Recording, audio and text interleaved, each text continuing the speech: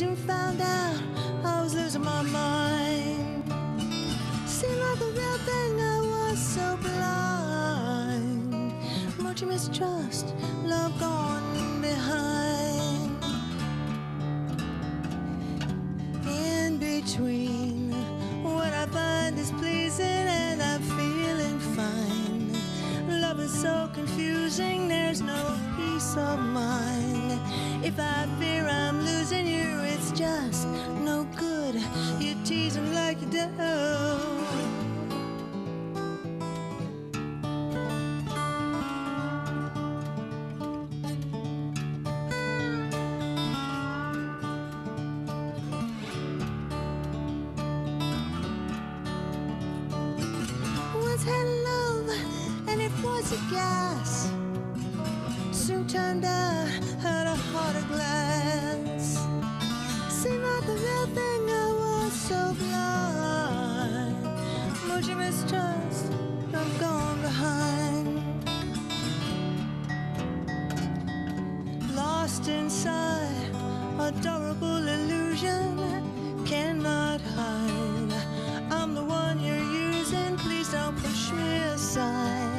We could have made it cruising,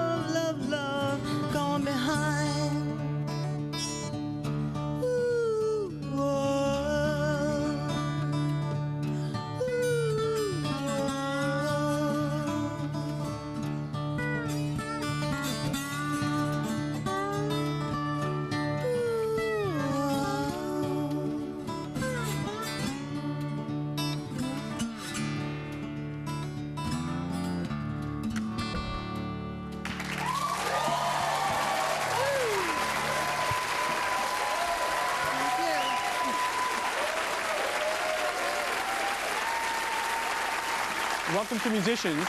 I'm David Wild, and more importantly, this is Deborah Harry and Chris Stein of Blondie.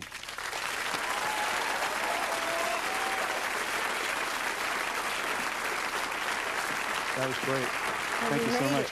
That was great. Um, I have to admit, I'm a little bit nervous uh, for this show because this is the first guest of musicians whose poster used to hang in my room and I used to gaze upon longingly. I'm speaking, of course, of Mr. Chris Stein. Was that good for you? No, no, it was uh, it was you, Deborah. But the reason I'm thrilled to have you on the show is that uh, beyond the posters, I eventually started looking at the actual albums when there were actual albums, and I would look at the songs that I loved, and I noticed inevitably they were written by uh, Harry and Stein. That beyond the posters, there was really there were great musicians. So we get to talk a little bit about that. Yeah, there were musicians in the group. Your voice. Let's talk about your voice for a minute. Uh, I mean, everyone here wasn't at sound check, but everyone was talking about your voice just keeps getting better and better. Uh, you, you, Chris, write, have been writing for that voice for many years. What's it like to write for a voice like that, and how do you, as a writer, Well, that, work? that kind of makes it easier because I do hear her singing stuff that I'm working on, it, and it pulls it into a certain place, I guess, because, yeah, I mean, I, I have to align whatever I'm doing to what it's going to sound like just physically, or singing it. So that, that puts a, I don't know if it's constraints as such, but it gives it a kind of area to work in. And because she'll be too humble, what is her strength as a vocalist? Well, it's you know, her, Debbie has. Um, there's a school of aesthetic realism which says that all good art is the combination of opposites. So, cer- certainly Debbie is. Uh, she, you know, her, her vocal qualities have this sort of um, knowing sexuality on top of this innocence that's going on. So it wasn't same my fault time. I was excited all those years. It was, Yeah, uh, yeah, it was yeah, intentional. It, it was there. I don't know if it's God. intentional or not. It's just how it comes out. What singers were you listening to that helped you find your own voice? Who did you imitate before you Everybody. Any, any ones that come to mind, the, any big influences early on? No, I, I can't really say that there was one thing because I never, I never bought records. I only listened to the radio, and um, I started listening to the radio very young, and there was a lot of stuff then, and there was tiny little local gospel stations late at night. There was, you know, the hit parade. No, I don't think there was top 10 even then. I think it was sort of just the hit parade kind of stuff. I didn't even know if there was top 10. But, um, you know, I started listening very young, and that was really, I know that that's what really shaped me. Do you think that also shaped Blondie a little bit in that, you know, especially by the time you got to a record like Autoamerican, it was so all over the place in a great way about being open to bringing in, you know, sort of island influences and, you know, hip hop. Do you think you've always had that kind of hit parade, uh, you know, spirit in your music? Well, that's one of the, I think that's, that's what sort of, you know, Chris and I have in common was that we had, uh, you know, a lot of different references and, and we're very sort of metropolitan about, you know, our, our music. And um, it could also be, you know, said that we're indecisive. I, you know, but I, Musicians who can't commit. right, can't, yeah, right. just keep, you know, trying everything. Tell me about uh, the song you just performed, obviously Heart of Glass, uh, a classic. What would you say that Heart of Glass did for your career? What kind of impact did that one song have? Well, what most people forget is that it was on the charts. The album, that Parallel Lines album, was on the charts for six months in America before that song went to number one, and that was a big deal. And it got Joey Ramone to say we sold out was the biggest, you know, influence it had on me at the time. Was that a real, uh, was it a tough time for you when you became the sort of first punk act to have a number one hit? Was the backlash at all difficult for you? Well, I don't know if it was particularly difficult. I think that there was some, you know, bones of contention within the band about, you know, losing our, our code of ethics, so to speak, or, you know, being real. Um, I think, and, and some, some people really had been, you know, pummeled to death by disco and couldn't get their music on the radio. So when we sort of did this crossover thing, I mean, crossover really wasn't a big thing then. Crossover really sort of hadn't happened. And this was a crossover. Blondie really was at the forefront of some, really a lot of the major changes in music in recent history. Uh, Heart of Glass was the first sort of, you know, rock pop act crossing over to disco. Uh, Rapture is incredibly groundbreaking in terms of bringing rap. Uh, I think the Beastie Boys were still little boys at the time of uh, Rapture. That was really groundbreaking. And of course, the original one, Punk. Do you have any explanation uh, how you were able to sort of do things first, uh, even if you haven't always gotten credit for it? How do you explain your sort of ability to uh, be out there that way? Well, one formula I had was looking around and seeing what was going on and then doing something that wasn't happening. So in that respect, but it wasn't really formularized at all, and that's probably why it was what it was. Well, uh, you know, they say um, the, the ones that come first get rocks thrown at them, and the ones that come second get flowers thrown at them. You know that deal. So we certainly underwent that. I want to go to another song. That uh, Heart of Glass comes from one of my favorite records of all time, uh, Parallel Lines. Uh, but that album had was full of amazing songs. There's another one uh, that's always meant a lot to me, uh, Sunday Girl. Uh, I wonder if you can, first of all, tell me there is a Sunday Man, or there was a Sunday Man. Tell me who Sunday Man was. Sunday Man was Debbie's cat. And and when we came back from tour one time, he had been staying with her sister, and the sister, her sister Martha, called up and said that he had run away, and it was very sad. He later was seen, we thought, but we were, but we've never been able to verify that. With Elvis, I heard. Yeah. Dancing at the garage, yeah. Right. and who was Sunday Girl? Sunday Girl is just, you know, it's the yearning of uh, youth trying to get out of itself. It's just a standard thing, and I thought a little. And then I, there's a vague reference to Georgy Girl, even though it's not really that, you know, apparent. Doesn't make any sense, but it's kind of there. Can you just show me a little bit how you came up with the Girl. Sunday Girl? Sunday Girl, I will up if I try to play. That's part of the show. yeah.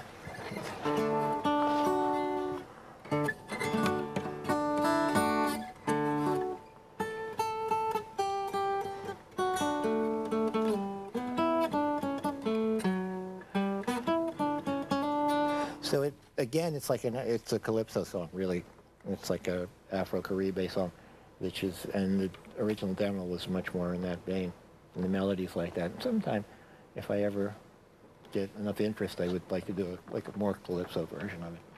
And tell me, how did it go from there? You get, you, is that how it starts with that? And then yeah, the how does it the become main the thing. The riff was the main thing. Was that?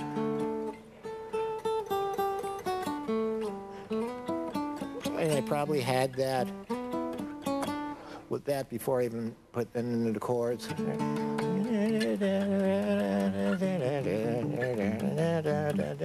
And then I put the chords underneath, and then I had to figure out a chorus, and somehow the chorus came out really pleasing. You know, it was it was simple. That was my, real primitive days, and then and I wrote that on the guitar. Now I don't do much writing on guitars, which may have screwed me up in the long run. I can't tell. Will you just sing the two of you just like 30 seconds of it? Because it's, it's my favorite. It's a sort of host uh, insisted request.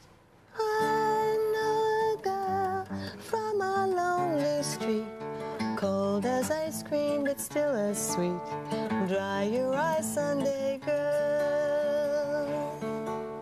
Hey, I saw your guy with a different girl. It looks like he's in another world, running hide, Sunday girl.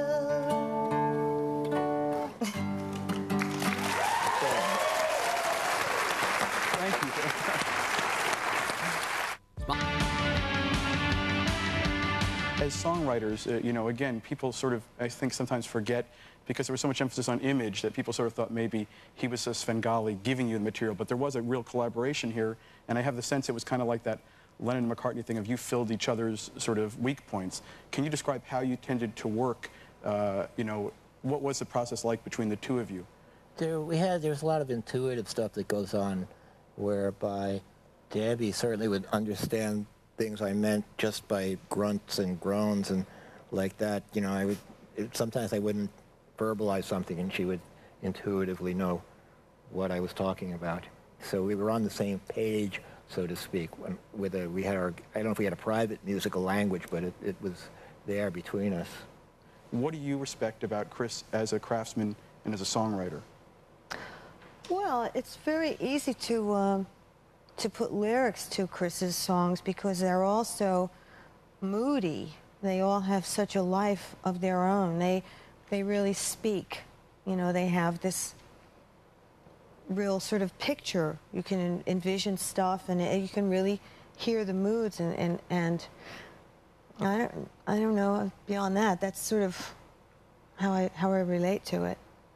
What drew you each to this downtown New York scene that, you know, it's sort of this world of misfits that became, you know, a cultural force and changed the world? And I would include you in that group. How did you get into that New York scene? I think what um, really sort of set me off about it was, uh, you know, early folk music and beatniks. The idea of being a beatnik artist really was that was it for me. I, I got to be a beatnik artist. And uh, when I was old enough, I just moved into the city. It's really what I wanted to do. What brought you uh, from, was it Brooklyn? Yeah. From Brooklyn, you had to make the long trip uh, Yeah. to Greenwich Village. Yeah. Uh, how did that happen? I, I, you know, grew up with the radio. I remember, but I was uh, very influenced by folk music, and I used to listen to WBAI, and I was really heavily influenced. I was probably much more into Dylan before I was in the Beatles, but then something finally, something finally clicked for me with the Beatles, and I really liked it, you know, very early on, and all, all the stuff. And again, my, my head paralleled the rise of all these groups as they first came about. I feel like really lucky that I was born in 1950 and I got to see all this stuff. And before rock and roll, I was listening to movie music, though. You know, maybe it goes back to my mother singing La Strada. I don't know.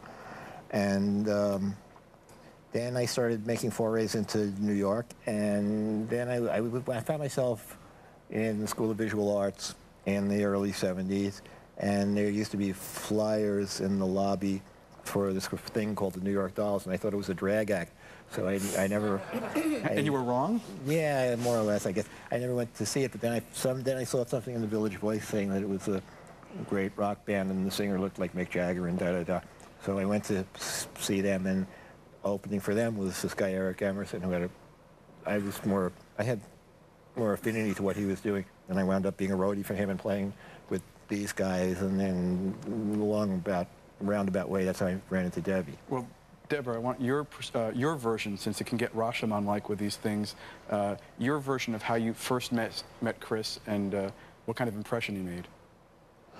Oh, I, I, met him at a show. He came to a show. I was in a little trio, um, sort of a cabaret kind of act, with Stilettos, and uh, Chris was in the audience. And um, for some, because of the way the lighting was, he was sort of backlit and I couldn't really see his face, but I don't know, uh, something about the his I don't know the way he was just sort of his posture or something. I, I he really, has great posture, I should say. I, I, uh, I, I, had to, you know, I had sort of, I was very shy, and I, I, I, I couldn't look at anybody in the audience. You know, I had no stage presence whatsoever, and um, so I could only look at him, and so I just looked at him for the whole show. I don't. Did you know that? No, I still am not sure if it's true. I, but well, I mean, I could look to the side. I could look to that side, but I couldn't really look at the, you know, well, look around. I guess I'll. Thank you. yeah. But no, I mean, I, so Debbie's appeal, it was later obvious to a lot of people, seemed to be to be, you know, glaringly obvious then, even though she had short dark hair and all this stuff. So I, I thought she was really terrific and had a tremendous presence, etc. So that was it. I just thought she was really great. So I was friends with one of the girls in the Stilettos, and I gradually started playing with them. And that's it. The rest is history. I'm sitting here destroyed. Are you telling me she's not a natural blonde? Chris, tell me your very first memory of music. My, I, uh, my father was a really sweet, nurturing guy, and my mother's a little nuts. And uh, my mother actually did think of herself as she somehow identified with the character in La Strada of, you know, this, this poor little waif being brutalized by Anthony Quinn. So um, she used to actually sing the song from La Strada nicely, so I had that in my head. I, my, I don't know if that goes that far back. It probably, it's, it's a difficult one. Aside from that, I don't know. I think parades always, you know, kids, little kids always hear like parade music when they're quite young because your parents always take you to see the parade. What would be the first concert you ever went to? Oh, I don't even know. Oh, probably. I probably didn't go to concerts until really kind of late. Probably the Fillmore, Fillmore East. Any idea who was your first show? I saw the, this project at the, the Sing In for Peace at Carnegie Hall. And that was in 1965. And then at the end of that, when people were leaving, the crowd parted, and there was Andy Warhol with his silver hair and sunglasses and, you know, a leather jacket on. And he was like from another age entirely back then in this primitive period. And that always stuck with me.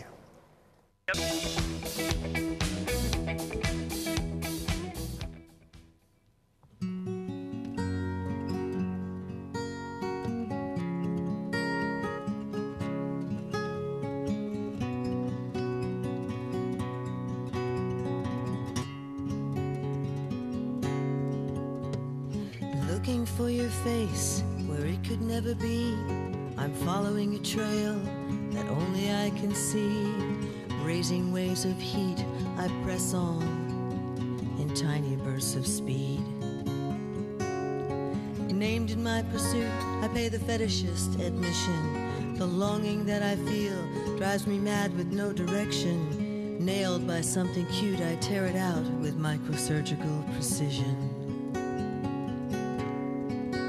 In cinder, Drop some gas on the ember. Lightning goes to ground. Incender, crazy fool on a bender, striking the ground,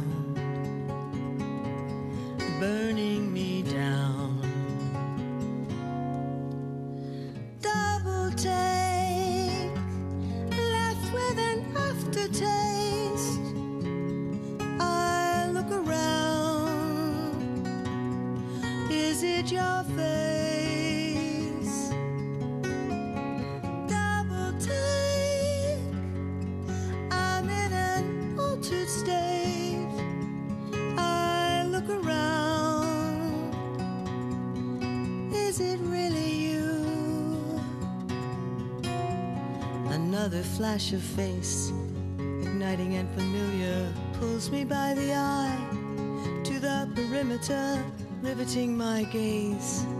Is that your face in the crowd? Incender, drop some gas on the ember. Lightning goes to ground incender as if a slap in the face striking the ground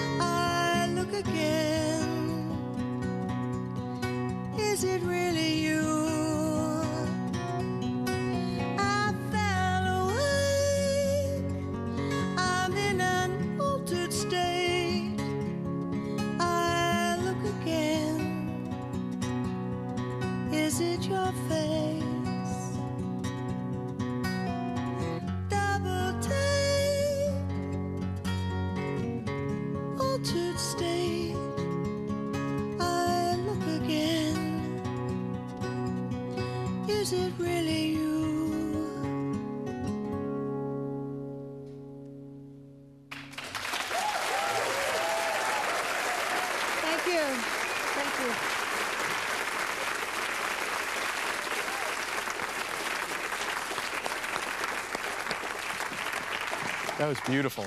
Uh, Thanks. Deborah, what is all this about no stage presence? Because I always thought you were sort of uh, kind of groundbreaking front woman because you had beauty and attitude, which is you know very potent combination and very rock and roll. Do you feel like you didn't have stage presence at the beginning and you got it along the way? And how, how do you do that? How do you learn that skill? I guess it's just uh, Pain you and know, suffering. yeah, developing. You know, you. At first, I really thought, you know, I would go out on stage and I would be sort of petrified and, you know, but driven anyway. You know, obsessed with this sort of thing. And, um, you know, of course, the music is very exciting. You know, and you, you just, you know, can react to that. But then I noticed that, you know, I expected what finally dawned on me was that I really expected the audience to make it happen for me. Silly me. And um, then I sort of came to the conclusion that regardless of what was happening in front of me, that I didn't care, you know, that I had to have this experience and you know, that's how I that's how I approached it. And when that happened, then the audience really responded to me. And talk about what do you see when you were, you know, arena days looking at the crowd? What did you see? Uh, you know, do you see the crowd? Do you take it all in? Do you just focus in on the first row? Do you realize it's all guys like me with the mouths open? You know, what what are you seeing from the stage? Um, well, I guess um, at first, you know, you sort of are dealing with, uh, you know, the crush zone, you know, the diehard fans, and you know they're always great. They always make you feel great, and um, either that or in the early days they used to spit on us. I mean, but that was, you know, But that, was, that was that was a sign of affection. too. yeah. Exactly.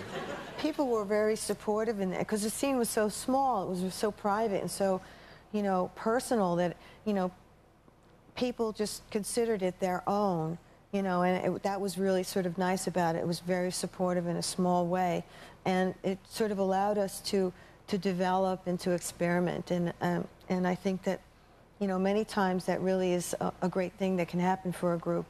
you know, besides you, I guess my favorite group would be the Ramones of that sort of scene. Musically, there was a lot of similarity, playing with sort of trashy pop, you know, uh, sounds and then making them really something new and giving them a new energy. Did you feel a connection with the Ramones? Well, yeah, I guess so. I mean, I just adored I- them. Yeah, I was. We were, I think we were kind of awed by the Ramones. Yeah. I, I really thought. I thought the Ramones were much better than we were initially because they really had their whole. We developed our act over a period of time, and it still is, you know, based on a lot of the eclectic, eclecticism. But the Ramones really were solid when they came in, even when it was still very ragged and they weren't, you know, as tight. They, the vision of it was always right there. Yeah, they always had a certain degree of professionalism, and I, I know that people find that hard to believe. I mean, they just knew about how to do their show, you know, how to promote themselves. They were really just, just, just smart about it. They really knew about the business. They were smart about that, but I think Blondie probably set, uh, you know, the record in terms of uh, imagery and the use of imagery and it, the power of using imagery. How do you feel about having sort of played around with that uh, Marilyn Monroe, Madonna horror uh, iconography way ahead of Madonna? Is there a sense of pride in that, and how much planning went into it? Well, I think fortunately for me, it was the time of, you know, women's lib, and I wasn't really ready to be Helen Reddy. But I loved all the R&B songs, and I loved all, you know, like the blues singers, and I thought that they were, you know, they were a great influence. Um, but I didn't really want to approach it like that. I wanted it to be a more defiant and more independent uh, vision of, of a woman, and that's basically it. And how did it feel to see? I think you had to notice a lot of it was sort of reflected, and I hope uh, you got a thank you note from Madonna at some point.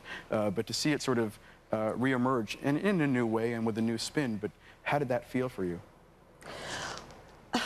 we are, you know, we're not like really major stars on a certain, you know, I mean, yeah, you go ho ho, but it's true, you know. We're in a sort of B world, this nebulous limbo of, you know, almost making it, which is probably okay. You know, when we're comfortable and we get to do what we want, but then on the other hand, you know, like I just, you know, U2 just bought half of Ireland or something like that. And I, and as far as the rock and roll community thing goes, you know, the corporatizing of music is probably more ferociously there than it ever was.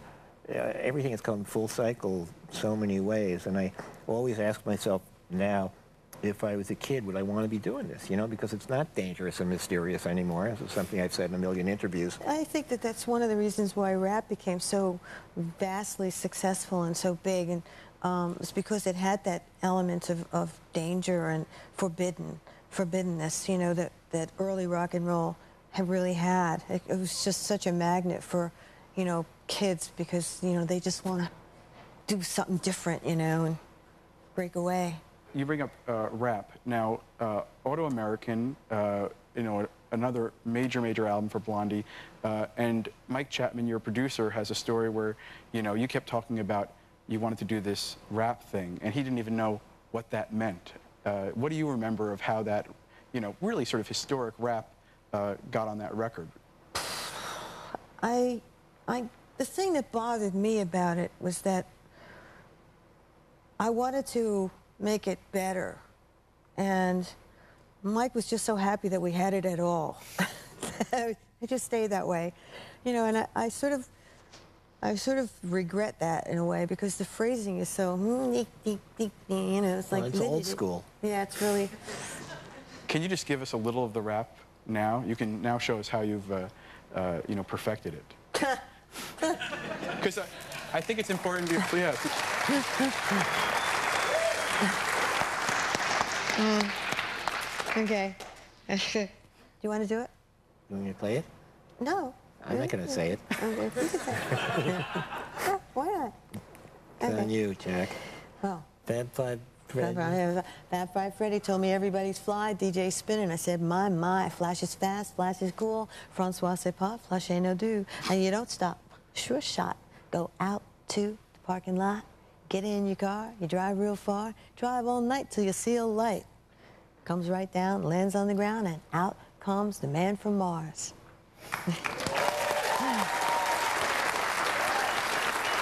Very much. oh, God. Let's hear a song from the No Exit record, Night Wind Sent. Okay.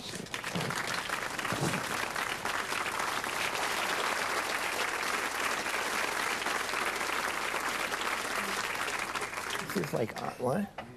No, okay. This is, this, it used to be like this at CBGB's, like really quiet. Go No, on. No, it was. It- There was a period. It reminds me of this. Yeah, the only time it was quiet at CBGB's was at the end of the night when everybody was so drunk. It was,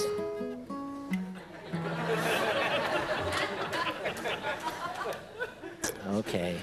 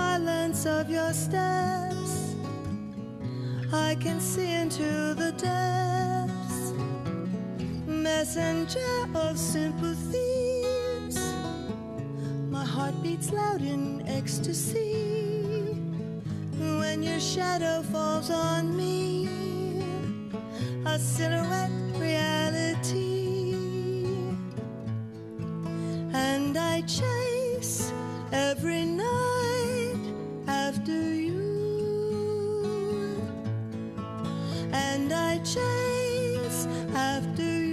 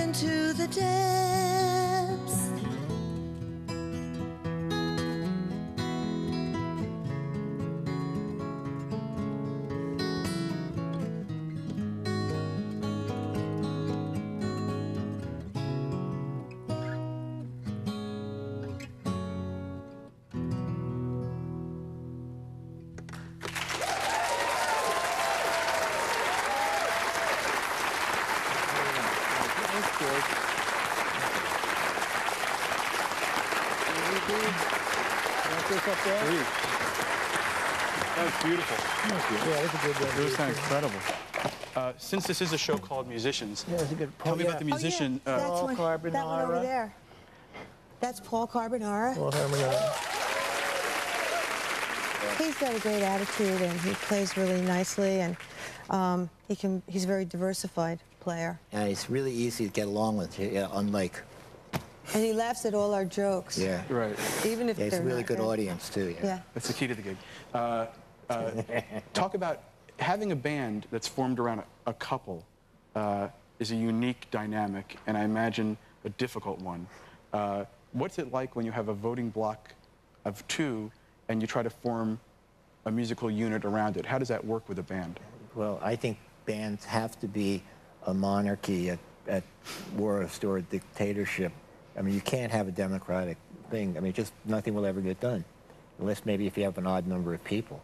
But when, it's just impossible. If everybody gets to say, especially with musicians or people who are of an artistic bent, just, forget about it. It's just not going to happen. So somebody has to be calling the shots. As I understand it, uh, I think you've said before that the band exploded and then you sort of physically exploded. Did Blondie break up at all because you got sick, or did No, you get sick because? Yeah, I got sick because of all the, the tensions and anger that I had inside me over everything that was going on. Because we were, I mean, it's only much later that I realized how badly we got screwed. But even at the time, I think there was a sense of that. Because we, the people we were dealing with early on in the music business were not like the way things are now, where there are a lot of younger people in the industry, and there's a, an attempt to actually be honest and forthright. You, you know, it may just be an attempt, but at least that's there. We were deal- dealing with this brill building mentality, if people know what that is. You know, it's the old uh, surf, you know, type thing. Well, we were very idealistic, and we had um, no business sense or you know experience, and um, none of us came from showbiz families, so we had no. I mean, I think that that helps a lot. Yeah. And we had, uh, I don't know, how many different managers did we had? We just sort of like kept changing managers, and it was just a big, you know, goof from the beginning. I mean, it's just, I was sort of doomed, business-wise. If you can explain what disease. Uh, Excuse me, sorry. choking. I had this thing called pemphigus vulgaris, which is pemphigus is Latin for blisters, and I did spend I was three months in this one little room, and, and I had amazing astral uh, visions and all kinds of stuff that are tied into it. So I, I can't say that I really regret it, but then I also, I mean, my my personal psychology is one of you know feeling safe with them in bed being taken care of. So uh, that's like a lot of people like that. Stop coughing. I can't help it. I'm choking. Who was it who took care of you? Uh, Debbie took care of me. Um, I, and why we stopped living together and being, I don't know. I mean, you know, it's hard to keep a relationship going under any circumstances. And did you think you might lose him? Was it how serious a? Uh, I was told that he was going to die. and how did you handle that? Not very well.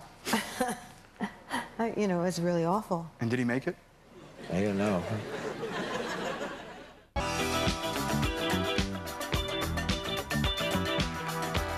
We have last two questions, and we're going to hear another song. Uh, tell me, what do you, what would you, each of you say music has brought to your life? Everything. I, um, I never expected to have a life like this. Um, I had no reason to uh, believe that I would, you know, ever leave New Jersey. so um, it's taught me how to uh, really express myself and to um, be very focused and um, disciplined. It's really taught me a lot. You know, now that we're in this whatever century it is, people are starting to think a little fourth dimensionally. I actually saw something about uh, the you know curative powers of music, and people know that you know you play music at plants and they grow better depending on what it is, and. Um, music's not to me. It's always been in me somehow. I people ask. I don't listen to a lot of music now. I don't listen to the radio. My wife, you know, wonders why I don't listen to stuff, and it is because it's something always going in my head. It really is. It's ongoing. It's just always some tune or some nonsense going on in there, and I, it does have a tremendous effect on people. That you know, we're so visually oriented in this society that we lose sight of some of our other senses, and music has a tremendous, you know, otherworldly effect on us. And uh, each of you also, what, what do you think your lives have brought to music? I like to think that we um, stayed true to our, you know, personal aesthetic. People, I, I, get a lot of emails from kids that say, you know, you helped me get through whatever traumas I was having in high school, et cetera, and that always makes me feel good. But it's hard to say, you know. in in the long run, who knows? Is it just going to be? I mean, even Beethoven, all those guys, you know, in another hundred years, who will know? You know, who knows? Well, it's, it's really a thrill and it's very satisfying when you you know you write something that really you know holds together and, and really you know makes sense for you and, and I mean on this on this new album I wrote some lyrics that I mean for some reason at, at my age I wrote a song that's about coming of age and it's so complete I mean it just really was so complete for me emotionally, lyric, uh, all the, you know, sort of phrasing, everything just worked out just so beautifully. It was really satisfying. Well, now let's hear a song that many of us uh, came of age to. Uh, let's hear One Way or Another. And thank you. Okay, thank you. I'm staggered.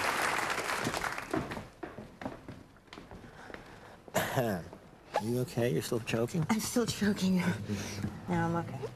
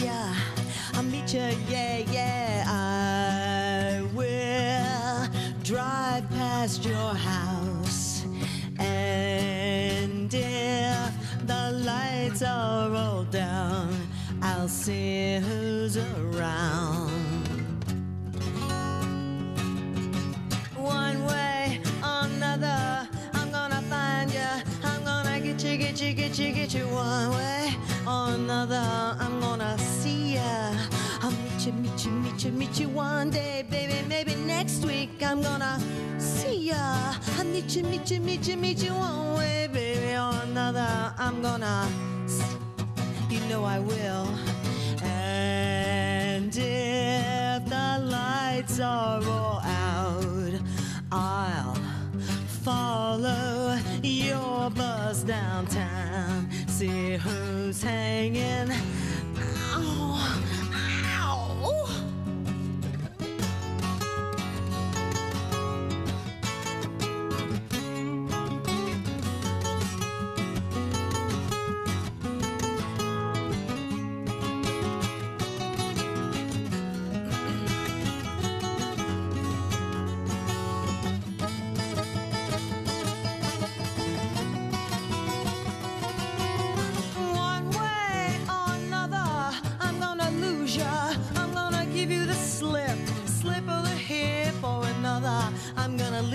Ya. I'll trick ya, I'll trick ya. One way or another, I'm gonna lose ya. I'm gonna trick you, trick you, trick you, trick you. One way, baby, or another, I'm gonna lose you. I'm gonna give you the slip.